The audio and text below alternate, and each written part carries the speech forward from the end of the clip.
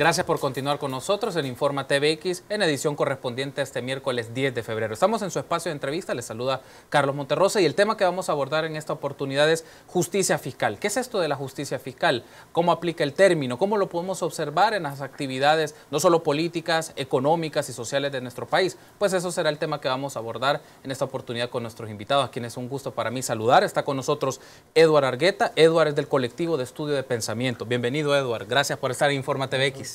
Gracias. Por la invitación y, este, esperamos dar algunos elementos que contribuyan al análisis y la discusión del tema de justicia fiscal. Perfecto, Eduardo. Gracias por, por, estar con nosotros. Y también nos acompaña Rommel Rodríguez. Rommel es investigador del área macroeconómica y desarrollo de la FUNDE. Rommel. Un gusto, un placer estar acá para hablar de un tema, creo yo, de suma importancia para todos, no solo para los salvadoreños, sino que para el mundo en general, el tema de la justicia fiscal. Gracias, Rommel. Gracias, Eduardo. Les ofrezco, amigos y amigas, una breve contextualización de por qué poner este tema a su discusión esta mediodía. Probablemente uno de los temas significativos vinculados al desarrollo de las políticas públicas consiste en la política fiscal. Se preguntará usted en qué sentido. Bueno, en la medida que los ingresos que obtiene el Estado vía tributos o vía contribuciones son empleados para brindar servicios públicos. El gasto público expresado en salud, educación, seguridad, acceso a la justicia, entre otros, bajo un marco de derechos de los ciudadanos.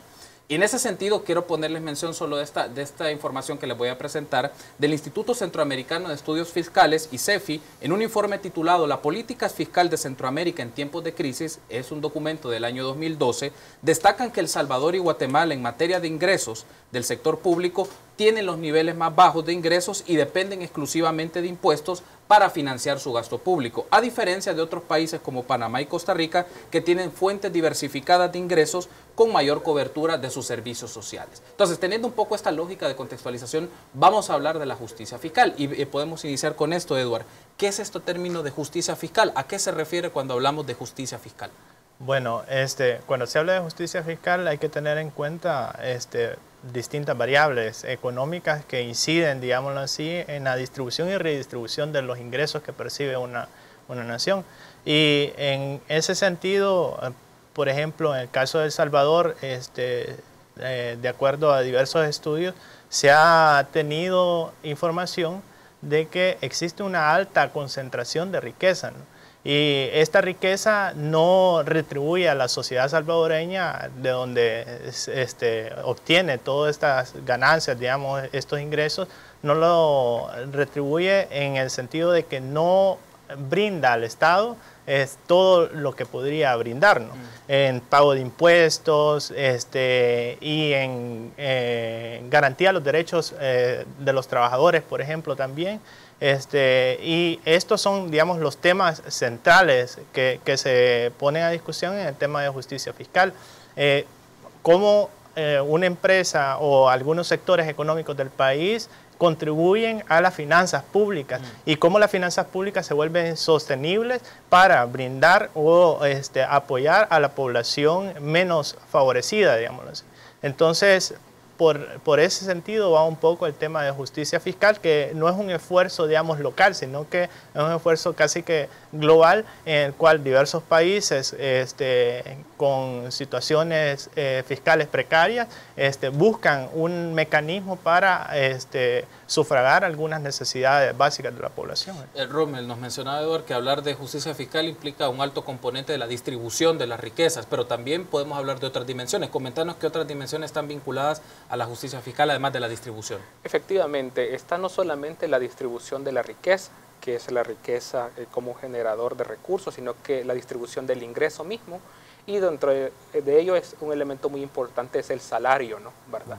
Salario que es el ingreso por el trabajo que percibimos cada uno de nosotros, ¿verdad? Entonces, es muy diferente, digamos, la riqueza en el sentido de las propiedades, la casa, los terrenos que se tienen, ¿verdad? Que son cosas o son activos, y la otra es ya lo que tiene que ver con el ingreso, que son los salarios que percibimos, digamos, los trabajadores, que puede ser tanto en el sector formal como el informal. ¿no? Entonces también a eso está referido la justicia fiscal, que las personas eh, puedan tener acceso a un salario digno, ¿verdad? Un salario que les pueda retribuir verdaderamente los esfuerzos que ellos han realizado, digamos, para vivir, digamos, y para producir.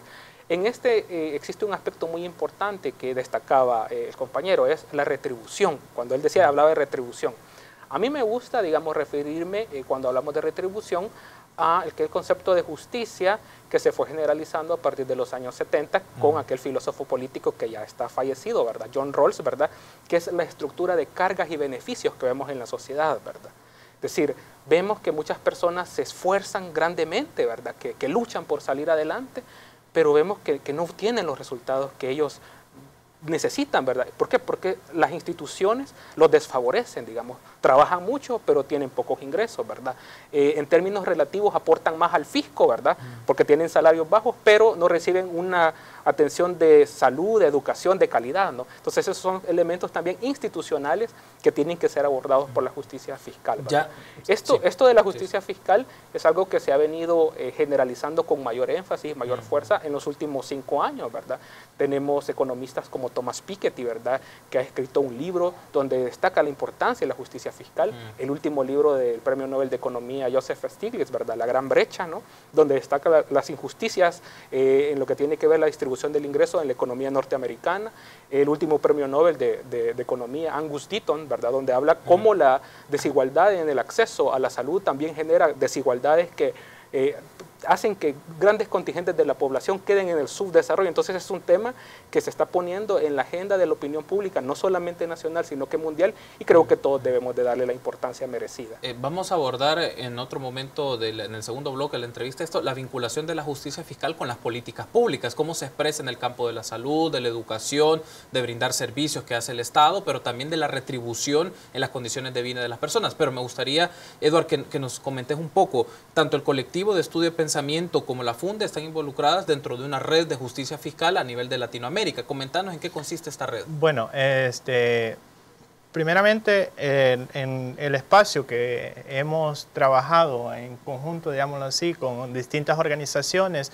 eh, principalmente eh, se han involucrado eh, organizaciones eh, juveniles, de, jóvenes que estamos interesados en la discusión, en la difusión, en el análisis de todo lo que implica exigir justicia fiscal.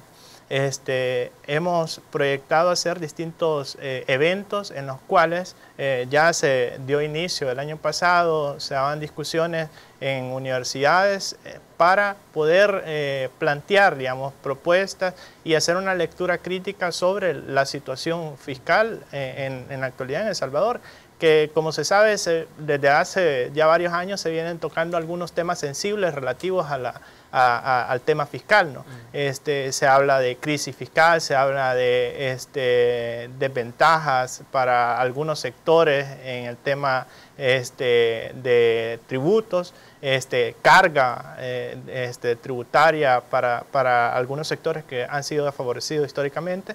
Entonces, eh, esta es un poco el planteamiento del espacio, generar eh, distintas actividades que contribuyan a la discusión desde este, organizaciones juveniles, este, organizaciones sociales, que busquen proyectar una dinámica de discusión distinta a la, habitual, ¿no? que no sean los políticos, digamos, los que hablen este tipo de cosas, sino que sea la, misma gente la que se apropie de los temas. Ese es el sentido. Quiero retomar un poco la idea de que nos está mencionando Edward Rommel, el hecho de que el abordaje de estos temas. A veces en la presentación en los medios de comunicación ve el tema fiscal como lo asocian con asuntos muy técnicos o asuntos eminentemente económicos y que solo es para el campo de los economistas solo para el campo de los políticos especializados en esta área. Pero cómo esto se puede socializar de que involucra al ciudadano, tiene implicaciones la justicia fiscal no solo en sus condiciones de vida, en su capacidad de obtener ingresos, en la capacidad de contribuir al Estado y que el Estado le retribuya en actividades, bienes y servicios. Cómo eso se vincula a la discusión del día a día, de la cotidianidad del ciudadano. Efectivamente, el tema de la justicia fiscal eh, inicia en ese momento en el cual eh, la persona eh, natural, con sus derechos, digamos, consagrados en las cartas magnas, sus derechos fundamentales, sus derechos económicos sociales, son incumplidos cuando tiene que tener acceso, digamos, a educación, a salud, ¿verdad? Pero no lo tiene. Entonces ahí es que está fallando porque el Estado no está proveyendo esos servicios adecuadamente como lo corresponde a la persona. Pero no se agota ahí el problema. Entonces vamos y vemos por qué el Estado no tiene esos recursos, ¿verdad? O por qué el Estado no puede atender esas demandas sociales. ¿no? Y entonces ahí vemos que es fundamental, digamos, como el Estado es, eh, fundamental que existen las leyes, ¿verdad? También es importante que haya una fuente de financiamiento de todas esas obligaciones que tiene el Estado. Y esas fuentes de financiamiento somos todos los contribuyentes, digamos, tanto las personas naturales y jurídicas, y lo vamos a hacer de una forma, y viene el tema equitativo, eh, digamos, una equidad en el cual aquellas personas que en términos relativos tienen más ingresos deberán de proporcionar más y aquellos que tienen menos deberán de proporcionar menos. Entonces, aquí existe como un aspecto complementario. Es necesario conocer tanto los derechos y los deberes de los ciudadanos, ¿verdad? Eh, los, derechos que tienen que ver, digamos, con el Estado, que la promoción de la educación, la salud y todos los demás eh, eh, aspectos sociales, pero también los deberes que tienen que ver con la ciudadanía fiscal. O sea, también el ciudadano debe de contribuir a través del pago de sus impuestos, digamos, para recibir esos, esos beneficios, digamos, a través de los recursos que da. Pero también por el lado del gasto, también este gasto debe de ser progresivo de tal manera que si nosotros vemos que estamos contribuyendo pero no tenemos una retribución adecuada, también podemos exigir adecuadamente al Estado que necesitamos esas cosas. Entonces, es una cuestión complementaria. Este trabajo se, viene haciendo eh, en organizaciones, como así esto la pregunta al compañero, de existe una red centroamericana de justicia fiscal, ¿verdad? Que está presidida precisamente por el ICEFI. Eh, el ICEFI es la organización que preside la red centroamericana. En El Salvador está la FUNDE, en Honduras está el Foro de la Deuda Externa, FOSDE. En Nicaragua tenemos eh, dos entidades, una es INIET, que es una entidad que analiza estudios tributarios, y otra que analiza las políticas públicas y en Costa Rica tenemos la Comisión de Enlace. Nosotros como red estamos adscritos a una red latinoamericana de justicia fiscal que son diferentes entidades a nivel latinoamericano, a nivel latinoamericano de Brasil, de Argentina, ¿verdad? De, del Perú, ¿verdad? La, sede, la sede queda en Lima, Perú, que también ven el tema fiscal. La característica de nosotros es que unas se especializan más en incidencia política, ¿verdad? Eh, y con un enfoque más jurídico, que es el que, que te decía, ¿verdad?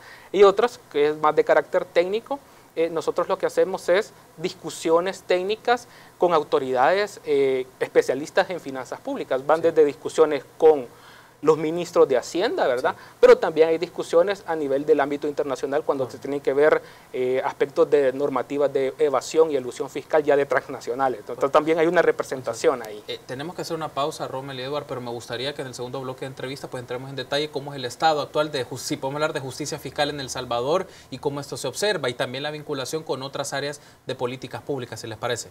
Vamos a hacer una breve pausa y continuamos hablando del tema de la justicia fiscal. Está con nosotros Eduard Argueta y Rommel Rodríguez. Volvemos en unos instantes.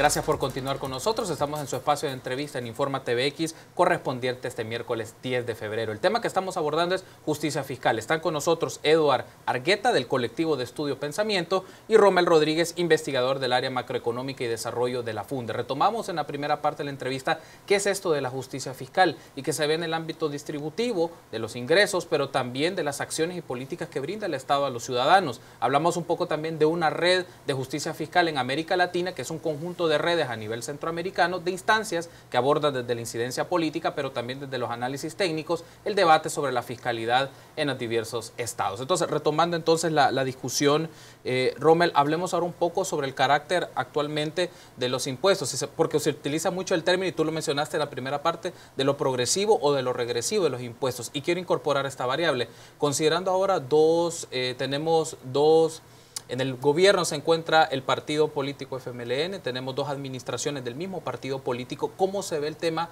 de, de la fiscalidad? Si podemos hacer un balance o un, análisis, un punteo de, qué ideas destacarías Efectivamente, sí, lo que nosotros eh, hemos visto, digamos, a partir de nuestros análisis, eh, y no solamente nosotros, sino que también invitaría a los diferentes amigos eh, televidentes, ¿verdad? Y amigas televidentes a que puedan acceder a los estudios que están disponibles del Banco Mundial y del Banco Interamericano de Desarrollo VIDE es que eh, la equidad tributaria eh, ha mejorado levemente en los últimos años, ¿verdad?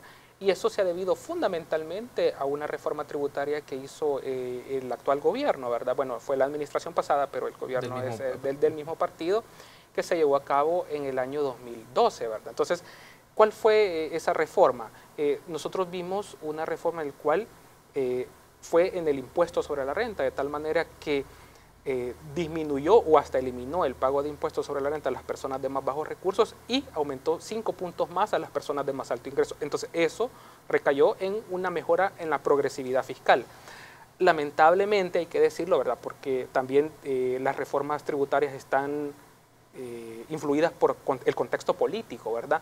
Eh, en los últimos años hemos tenido un par de reformas que han estado más orientadas a impuestos indirectos para solucionar problemas de liquidez, le llamaría yo, ¿verdad? Mm. Como tuvimos hace poco el impuesto o la contribución, más bien dicho, ¿verdad? La contribución especial para la seguridad eh, ciudadana, que su característica es que es bastante regresiva, ¿no?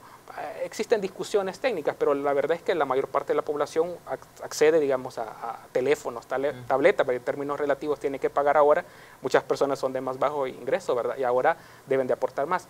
Pero el balance global es que eh, ha, mejorado un poco más la equidad fiscal. Sin embargo, el principal impuesto que le da recursos al Estado sigue siendo, por excelencia, un impuesto indirecto un impuesto que en términos relativos pagan más los pobres que las personas de más altos ingresos, que es el impuesto al valor agregado IVA. Entonces, ha habido avances, pero no lo suficiente. Entonces, hace falta mucho más para mejorar la equidad tributaria. Por el lado del gasto, eh, lo que sí se puede y se ha destacado incluso en los informes internacionales es que se ha incrementado considerablemente el gasto y la inversión social. ¿no? Entonces, el efecto ahí en el gasto sí es muy favorable. ¿no? Los programas de asistencia social, eh, como los paquetes, los útiles escolares, los subsidios, han venido a favorecer, digamos, la progresividad. Entonces, el efecto neto, si no tuviéramos este componente del IVA, ¿verdad?, fuera bastante optimista, pero el IVA es un impuesto sumamente grande, pesado, ¿verdad? Entonces, es la principal fuente de financiamiento del gobierno y entonces eso resta los logros en la equidad fiscal. Quiero retomar este, esta idea que nos ha mencionado Rommel Eduardes la valoración que tiene desde el colectivo de estudio de pensamiento es, según el esquema que tenemos actualmente tributario, el carácter de la fuente de los de los cuales el, gobierno se nutre para desarrollar los diversos programas, propicia la justicia fiscal o está en el camino, le falta, ¿cómo lo valoran ustedes? Bueno, este, hay varios elementos que hay que este, tener en cuenta a la hora de ver las fuentes de, financiamiento, digamos, del gasto que tiene este, el gobierno actual. Eh, si uno evalúa el el largo periodo posguerra, digámoslo así, ¿verdad? Eh, vemos que hay eh, algunos mecanismos que no se han logrado desmontar en, el último gobierno del partido FMLN. Y estos tienen que ver con una alta dependencia con el endeudamiento, por ejemplo. ¿no? Este, y el otro es el hecho de lo que ya mencionaba Rommel, de la disputa política que hay este, para poder implementar algún tipo de reforma. ¿no? Este, en términos eh, de ingresos este, tributarios eh, este, para, el gobierno. Entonces, eh, estos elementos, digamos, que son los que van delineando el margen de maniobra que tiene el, gobierno, pues, porque hay siempre intereses de sectores económicos que se imponen ante cualquier tipo de reforma. Es más, hemos visto una serie de reformas que este, son aprobadas este, o ratificadas en la Asamblea Legislativa este, y posteriormente son desmontadas desde otros eh, sectores estatales. Entonces, y esto tiene que ver porque eh, se tocan intereses puntuales, ¿no? que eh, no se han logrado desmontar eh, en el periodo de la implementación de un modelo económico que excluye a las grandes mayorías y que este, lo que hace es cargar más a quien tiene menos. ¿no? Entonces, eso, esos elementos son, digamos, los centrales para nosotros en el, en el análisis. Si eh, no se incorpora en la discusión el hecho de la sostenibilidad de los ingresos que se tiene en la actualidad, entonces no, se tiene un panorama de largo plazo para poder este, proyectarse sobre políticas sociales o económicas que realmente incidan en la población y transformen las características económicas que tenemos en la actualidad. ¿no?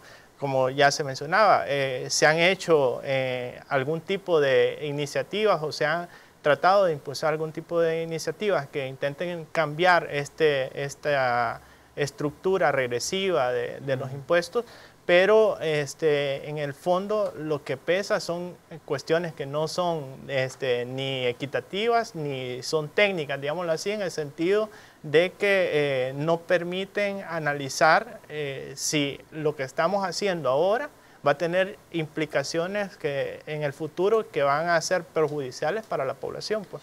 En, esta discusión aparece, eh, Rommel, en el análisis que la política fiscal, como otras expresiones de políticas públicas, hay una relación de intereses, hay un juego político alrededor de esto. Y siempre, y ya Eduard lo, mencionaba de una manera interesante, y quiero tener tu valoración sobre esto, es que en el campo de la política fiscal, cuando se quiere hablar de modificaciones o reformas, o solo utilizar el término de hacer un pacto fiscal, una reforma fiscal, ya eso genera reacciones de grupos empresariales fuertes. Y mencionaba al inicio el ICEFI, porque el ICEFI viene publicando ya desde, desde los recientes años eh, investigaciones sobre este tema, la política fiscal como está en Centroamérica, el estado de la política fiscal en El Salvador, y uno de los aspectos que aparece es, hay un grupo fuerte económico, empresarial, que cuando se utiliza el término de hacer cambios o hacer algún tipo de reforma fiscal, pues tratan de buscar los mecanismos para bloquearlas y implica para ellos pagar más impuestos. ¿Cómo podemos ver esta lectura? también? Efectivamente. Eh, debemos de comprender que la política fiscal, digamos, eh, tiene dos dimensiones, ¿verdad?, que son complementarias.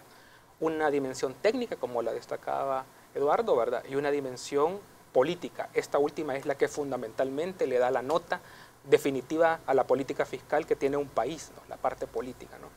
Porque la parte técnica está relacionada con las tasas, digamos, las estructuras de gasto, los beneficios, ¿verdad? Y la parte política es todo aquel debate que se da en torno a la política fiscal y por parte de los eh, policy makers, ¿verdad?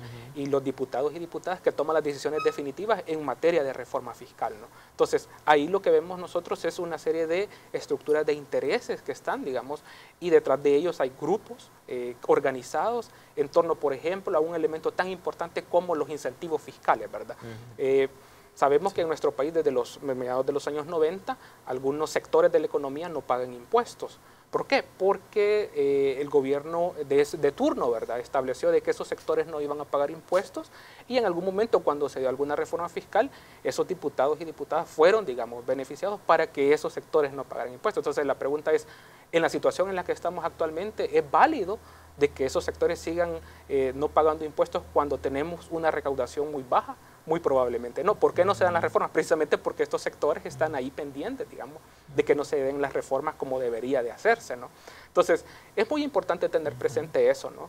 Que quien le da la nota definitiva a la política fiscal no es tanto la parte técnica en la cual nos, podemos agotar los economistas y los abogados, porque todos esos debates hay que codificarlos en derecho y mandarlos a los parlamentos y en la asamblea, sino que esa tasa o esas estimaciones de ingresos o de recaudación se pueden venir abajo porque simple y sencillamente eh, un policy maker, ¿verdad? O, un agente eh, fuera, o como se ha puesto de moda, el maletín negro puede llegar y esa tasa ya no va a ser del 5%, sino que va a ser de 2.5%. Entonces eso ya cambia las proyecciones, puede erosionar incluso más la fiscalidad y puede generar un déficit mayor. Entonces la parte política es muy importante y es allí donde los ciudadanos y ciudadanas, sin necesidad de tener un conocimiento técnico de la política fiscal, pero reconociendo sus derechos, digamos, como ciudadanos y la ciudadanía fiscal, ¿verdad?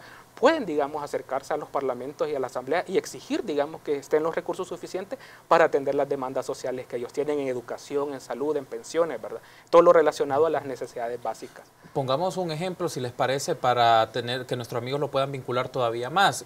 Esto de justicia fiscal respecto a, Eduardo, el tema del salario mínimo. Está en discusión en este momento en la instancia que representa en el Consejo Nacional del Salario Mínimo un debate sobre un aumento al monto del salario mínimo que lleva el gobierno, pero por otro lado los empresarios tienen una contrapropuesta y siempre está en esta discusión cuál va a ser el posicionamiento del sector trabajador en esto. En este caso me gustaría hacer ese vínculo, que nos haga este vínculo, Eduardo, entre eh, lo que hemos hablado, justicia fiscal, el tema fiscal y cómo se relaciona esto con el salario mínimo, algo que nos afecta a todas las personas y a todos aquellos que trabajamos y según esos montos pues se va determinando los pagos según el área o el sector que, la gente se desempeña laboralmente. Claro, este, la lectura de, los trabajadores lógicamente sería que eh, hay una eh, disonancia entre los gastos eh, cotidianos que tiene la gente con los ingresos que perciben. ¿no? Si sos un empleado y, y percibís un ingreso mínimo, por ejemplo, sabes que no te alcanza este, para lo mínimo de, vital. Entonces, sin embargo, eh, este, la implicación que tiene el hablar de un incremento al salario mínimo para sectores empresariales es distinto, ¿no? Este, y es lo mismo que ocurre cuando se habla de impuestos, o sea, y son unos sectores precisamente que bloquean o obstaculizan cualquier tipo de proceso que sea en, en función de justicia fiscal. Lógicamente no son todos, pero hay sectores con alto poder político y económico que sí este, bloquean este tipo de aspectos.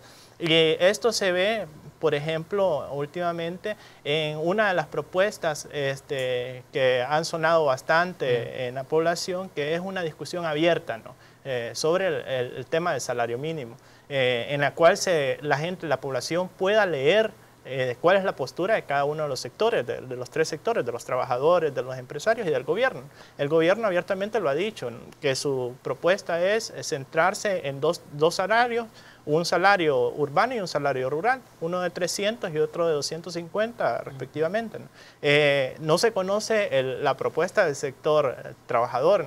Sí se ha difundido la propuesta del sector empresarial en el cual solamente este, se hace un incremento porcentual que no, no actualiza, digámoslo así, este, eh, el incremento de precios que ha tenido la población en los últimos años, como fueron los últimos, los, últimos incrementos que se dieron este, prorrogables en, los últimos cuatro años, este, y este, que en, realidad es la postura de los sectores empresariales que tienen influencia que de decir, bueno, si vamos a incrementar, que sea algo que no sea sensible para nuestros ingresos, porque eso puede repercutir en menores empleos, igual es la misma postura en, términos de, impuestos, si nos pone más impuestos va a repercutir en los precios que paga la gente por este, adquirir los productos que nosotros generamos. Entonces vemos que no hay un compromiso con la población para poder, este, eh, digamos, eh, perceptuar o reducir